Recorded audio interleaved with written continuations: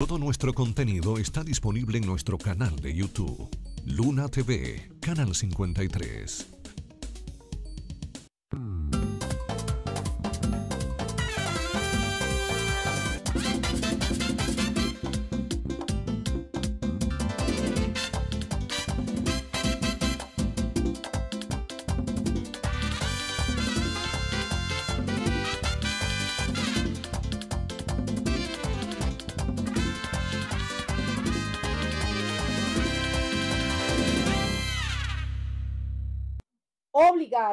A los contratistas, los obligaron, los exculpo, los obligaron a llevar a sus empleados, ingenieros, arquitectos, agrimensores a votar, ofreciéndole pagarle lo que se le debe.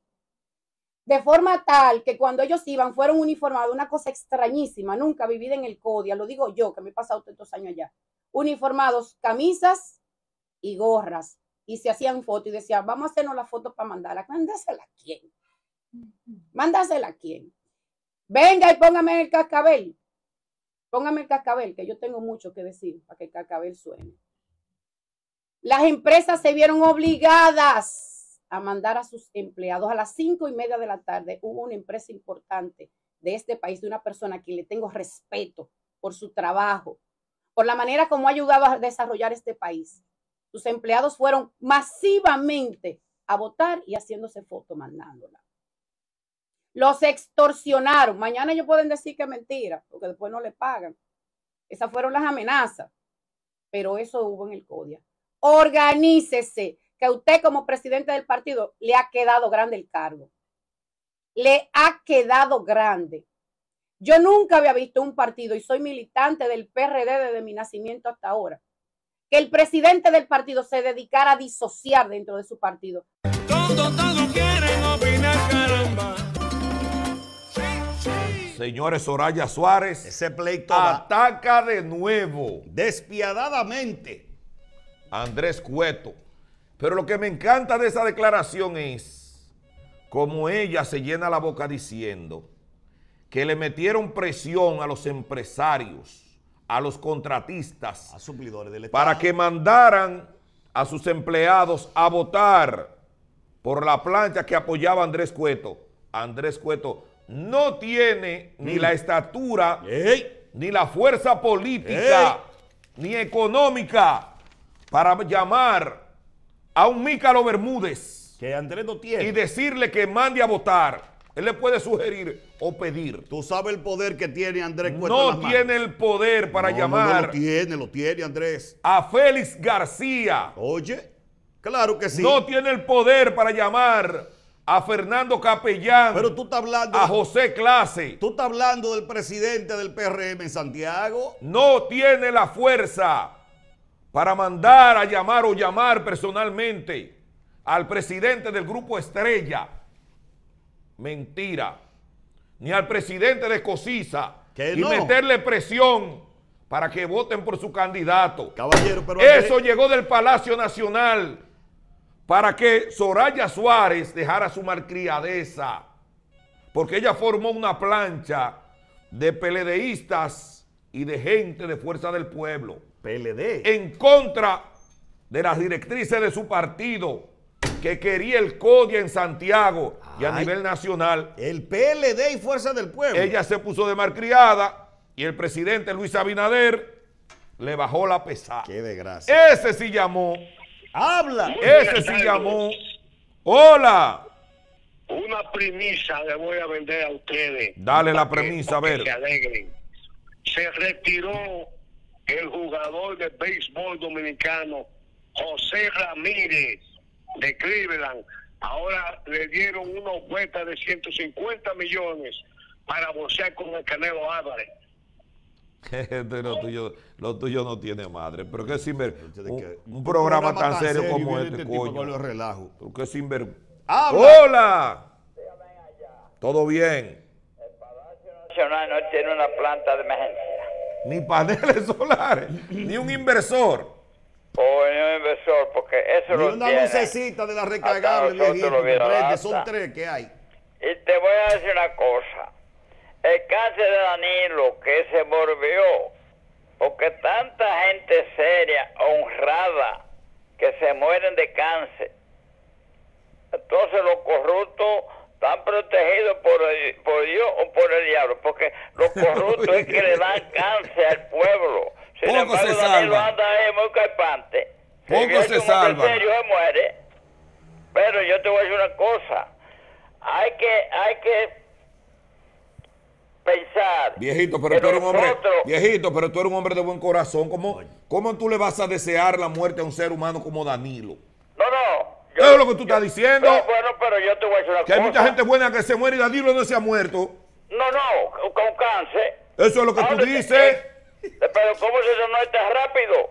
A lo que Alguien no que se tiene va- cuarto y lo atacaron Ah, a tiempo. Bueno, no, se mueren hasta los los mucho más ricos. Lo que pasa es que ah, Danilo se hizo un enfermo y ahora está reclamando los favores que hizo. Que salga para la visita sorpresa, todo lo que dejó sembrado y todo, para que le voten por él. Gracias. Ese es, un, Gracias. de- ese es un derecho que tiene Danilo Medina de salir a pedir que le hagan ¿A el quién, favor. él, ¿A quién él cree que ayudó? José García, Uy, José García, oye, lo que está diciendo David ahí, ¿Qué? tiene su razón, apóyalo y tiene su razón. Lo que él está hablando de la muchacha esa, eh, lo que lo que dice eh, eh, José, eh, esa David, muchacha no tiene nombre, se llama Soraya Diputada Suárez. Soraya Ah, Suárez. Oye, pero oye, David, Ey. David, oye lo que te voy a decir. Tú tienes tu razón. No tienes, mo- eh, no tiene, no tiene para llamarte a esa gente que tú me estás Maestro, gente de fuerza poder, para oye. Maestro, eso, ¿qué entonces fuerza va a usted, confirma que Soraya Suárez se fue con los PLDistas y fue y fue pista para una plancha.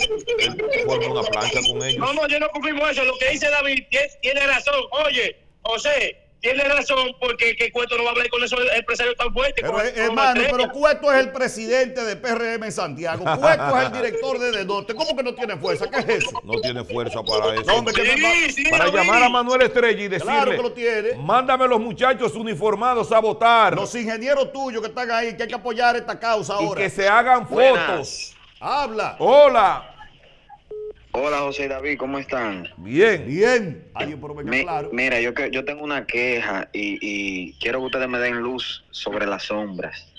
A mí me pasó un suceso ayer con un DGC o una ME, como se le dice. Set. Y yo fui a la San Luis a poner la querella.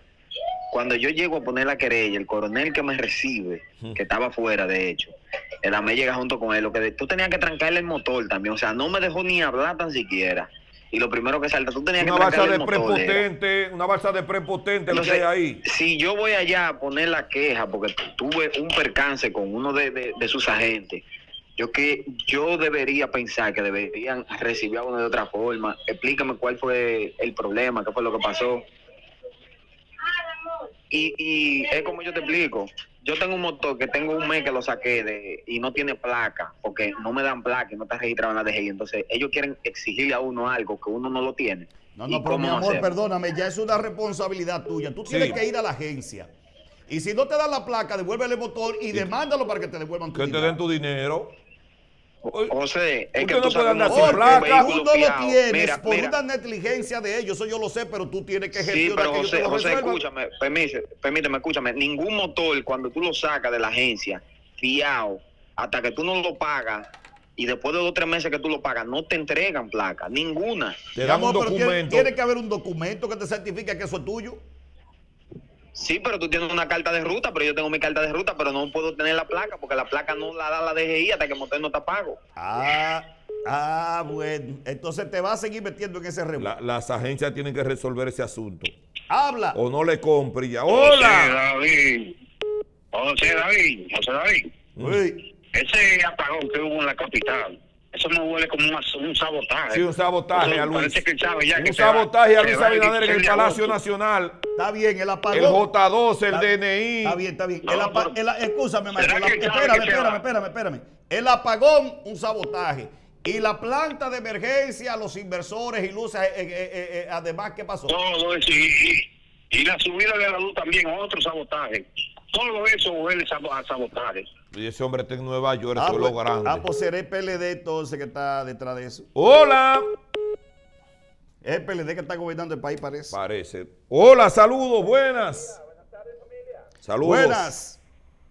Mira, eh, esto que en Dominicana llaman transfugismo, que no es más que una manera mercantil de tratar con los partidos políticos, que se supone son la base de la democracia. Correcto, se Eso supone. nada más supone, ocurre no allá. Porque tú le preguntas al presidente de la República cuál es la ideología política que tiene su partido y él mismo no lo sabe. Yo creo que el único que tiene un poco de intelecto para entender cuál es su razón de ser políticamente es Leonel. Y su filosofía es bien clara. Yo quiero estar en el poder, aunque no me importa para qué. Quisiera que los dominicanos despertaran a esa ilusión tan miope y estúpida pensando que los partidos políticos le garantizan algún bienestar a ellos como sociedad. Fájense a tumbar dinero y fájense a robar dinero como hacen todos esos políticos ladrones, que eso es lo que son ellos todos. No existe ideología política. Por Eso es verdad, pero no ¿Y mandan a la entonces gente a robar. Y Que si entonces- tú robas, los mismos políticos mandan a la policía a que te atraquen, No, a que lo a que te metan preso, A que lo a que maten. te fusilen.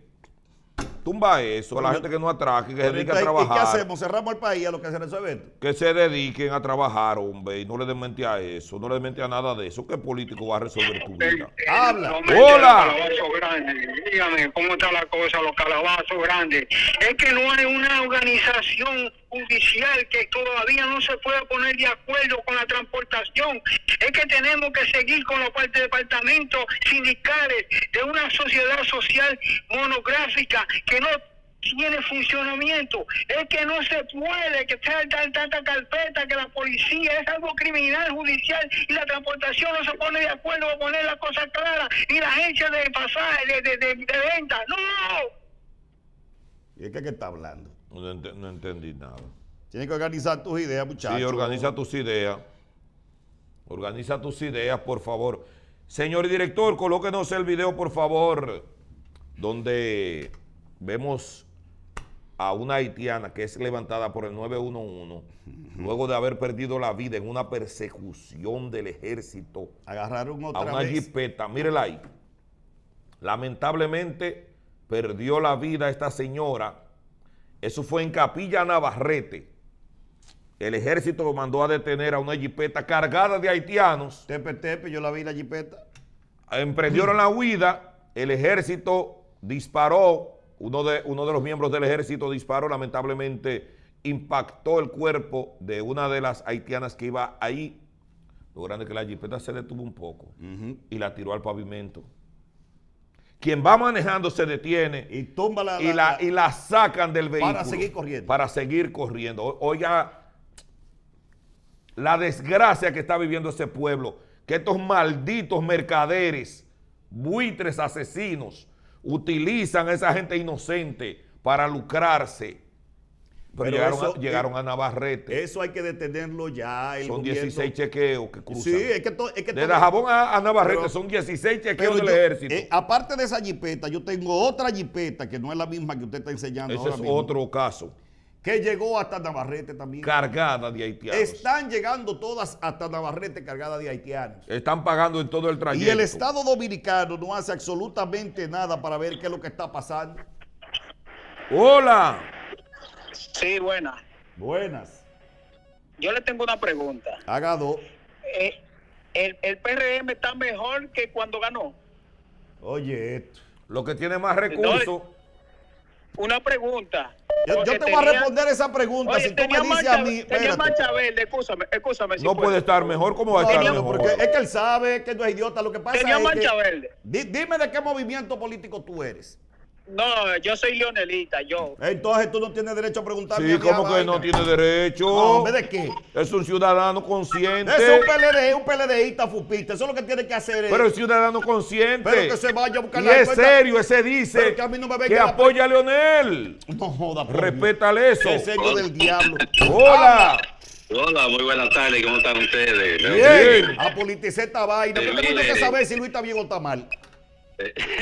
Oye, tú sabes que yo mismo tengo miedo, temor, porque por la invasión de haitianos que hay pacífica en todos los barrios. Yo soy de aquí de la ensayo para allá. Usted no veía ese rebú de haitianos en toda parte, ya son los delivery, están en los colmados, en la peluquería. En el concho, Los súper de los apartamentos. Oye, Eso es increíble, entonces nadie se mete con esa vaina y pues donde quiera que tú te metes, ya, aquí mismo en el ensanche para allá hay manzanas que son de haitianos. Y uno no tiene nada en contra de ellos, pero ese negocio de estarlo metiendo para acá, No es tiene hay que jodido. esos tigres. Bueno. Hay dominicanos primero, eh. Hay chofer y, y a todo eso coge cuarto. Se lo digo Sí, yo. presumen ahora que el que venía manejando la jipeta, donde murieron los 13 haitianos, es dominicano. Y él se salvó. Claro. Hola. Él prendió la vida. fue para disculparme, porque me expresé mal. Lo que yo quise decir no fue que se haga la sociedad a robar y atracar, no. Ah, ok. Discúlpeme si entendieron eso. Lo que yo quise decir es que todos esos políticos de abajo, que están que cambian de un partido a otro, a eso es que van, ellos van con su presupuesto a ver qué es lo que van a sacar.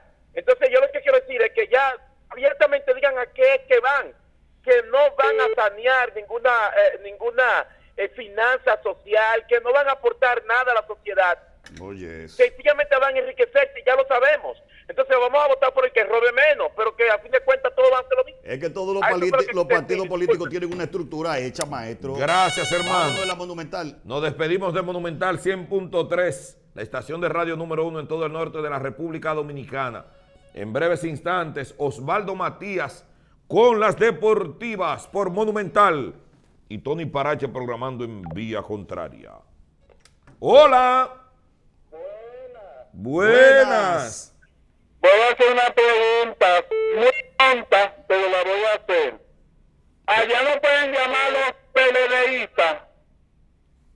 Claro que pueden llamar y los fupitas, tú el que le dé la gana. le dé la gana. Eso es José que tiene su encono con No, no, no, Leonel. no, no, no, no, Que tiene un encono con Leonel. Cállense los dos que voy a hablar. El problema de eso no es que nos llamen, maestro, es que no hagan preguntas Ay, estúpidas. coño, ay, coño. Perdóname, perdóname. Le dijiste No, no es que nos llamen, hombre. es que no hagan preguntas estúpidas. ¿Qué tengo yo que saber si este maldito gobierno lo llevo mal? Allá no puede hablar un PLDista que estoy hablando, no porque los PLD, Ah, lo que tú quieras. Ah, no te siempre. preocupes, Es que tú no sabes lo que está diciendo, haga ya no puedes estar hablando así. Hay que decirte la verdad. Hay No que decirte la verdad. de sí. narga, Pues muchacho. Es un programa para todo el mundo de su... Él ni sabe lo que está diciendo. Que, que respete Cuando a los tú- PLDistas que llaman. Yo respeto a todo el mundo porque a mí no me va a llamar ni que va a hacerme preguntas tontas. ¿Tú crees que Luis está mejor ahora que cuando ellos estaban en campaña? Hola. Y es idiotez. Buenas, buenas. Buenas. Te hablo de, de, de Arenoso, provincia de Duarte. A- Adelante, adelante, Arenoso. Arenoso. Mira, David José, yo quisiera eh, que ustedes dieran una vueltecita o mandaran a buscar un par de videos para ¿De que qué? tú veas cómo el síndico que se le vendió al PRM, el síndico la- llamado Pitico, se le vendió al PRM, cómo tienen esta calle para que tú veas. Esto da pena, esto da pena, esto da pena. Maestro, escúchame, y los hombres de Arenoso lo castraron. Ay, muchachos, la gente tiene hasta miedo. No, no, pero di- no, no, espérate, espérate, espérate. Dime si los No, hombres de no hay Arenoso lo castraron. La junta de vecinos le eliminaron. Esto no sirve aquí. O no están, co- sirve. están cobrando. Ah, no, maestro. Ustedes lo que tienen que salir es a quemar goma. Organizarse y tirar, piedras, romper cristal y hacer de todo. Hola. Y parar el tránsito por ahí. Hola, ¿cómo estamos? Bien. Qué bueno, voy a decirlo de nuevo. Hola. Adelante. Desde aquí de Nueva York, una pregunta de nuevo. Hmm.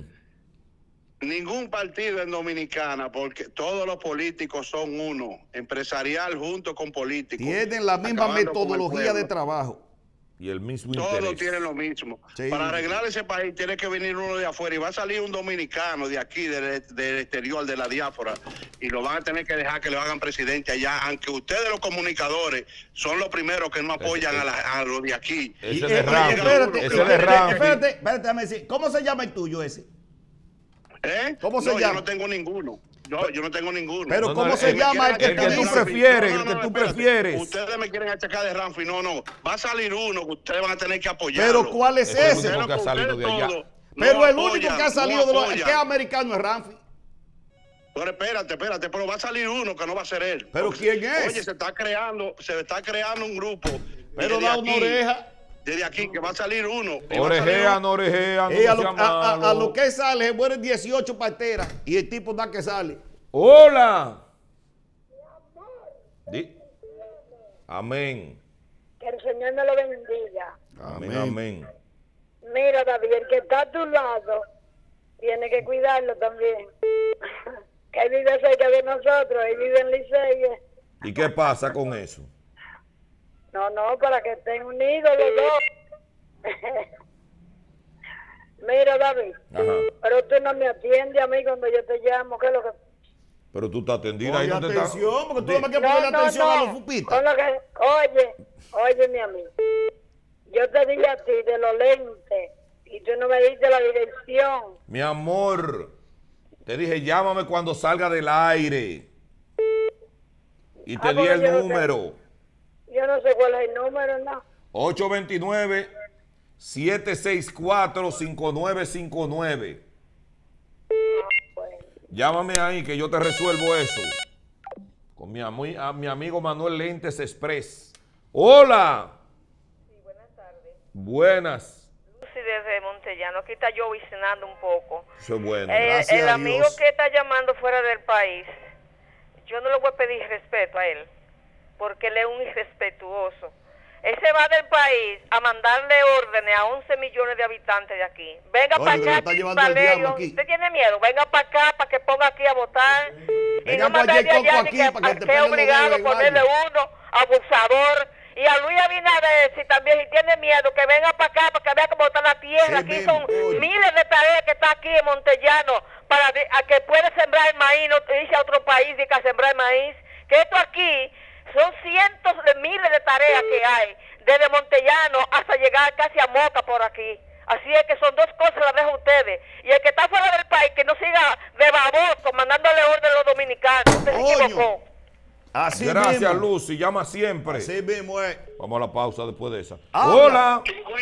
Buenas. David, Ey, Ey, ¿cómo están? bien. Qué bueno, qué bueno. Eh, José, ¿tú todavía crees? Que yo creo en qué. De Gustavo de la Oye, es tu presidente, hermano. Yo No te dije a ti que si de aquí al 16 de agosto no me llames para hacerme la misma es- pregunta porque no ha variado no nada. esa no es. Y era una prueba de fuego para el presidente, para tu presidente. No, no, para mí, o para mí y para el No tuyo. dice que ese comité de base soy yo ni nada. Óyeme, el senador del Gran Santo Domingo, con ese audio que anda, el Ministerio Público Independiente. Dime de eso, José. Opíname de eso. Es que ese señor no es PRMista, es un empresario que se compró una senaduría con 250 o 260 millones. Usted va a gastar saliva respondiéndole eso a él. Yo le voy a decir una cosa a usted. Dígale. Cuando Gonzalo dijo a Danilo Medina que la campaña más cara de la historia del PLD Coño, pero es un senador. fue la de Gonzalo. Gonzalo es el candidato presidencial en el país entero. O sea que un- Esto es una demarcación, José. sea que si un no admite comparación.